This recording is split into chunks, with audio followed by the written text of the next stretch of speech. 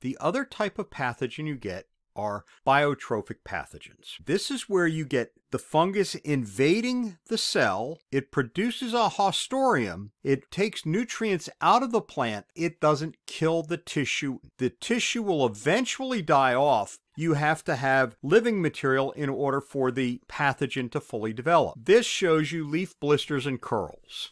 You can see how we get leaf blisters and curls out of this. The one on the left hand side is what we call oak leaf blister. The one on the right hand side is peach leaf curl. You can see how we get these. The one on the left looks like we've got blisters. The one on the right looks like we've got curl going on. Both of these are caused by a type of fungus that gets in. It doesn't kill the tissue.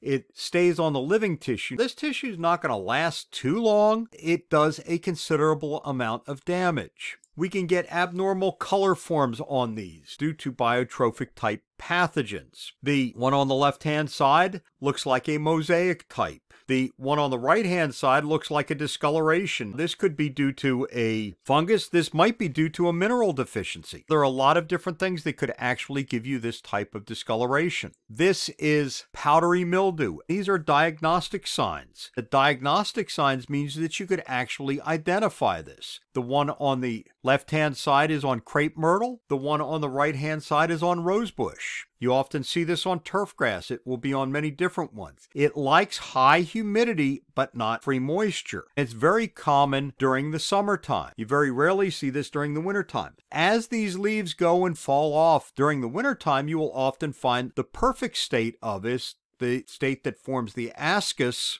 that is also diagnostic. When we see these, we normally call these things oidium. That is the genus that we put all of these mitosporic fungi in. This is downy mildew. This is a biotroph. This is very difficult to actually identify the pathogen on if you don't know what you're doing because if it dries out, the pathogen kind of disappears. The pathogen has mycelium that is quite delicate. This is a downy mildew on a turf grass. You can see that it's actually causing what we'd call kind of a crazy top on it. It pops up the grass, it causes the grass to actually multiply much more frequently than you would expect. it. If you were to see the pathogen, the sporangiophore, it would look like this. I call it a sporangiophore. These are sporangia if they are in a moist environment. If it's in a more dry environment, they will actually function as a conidium, an asexual spore. We get differences based on environmental conditions. Remember,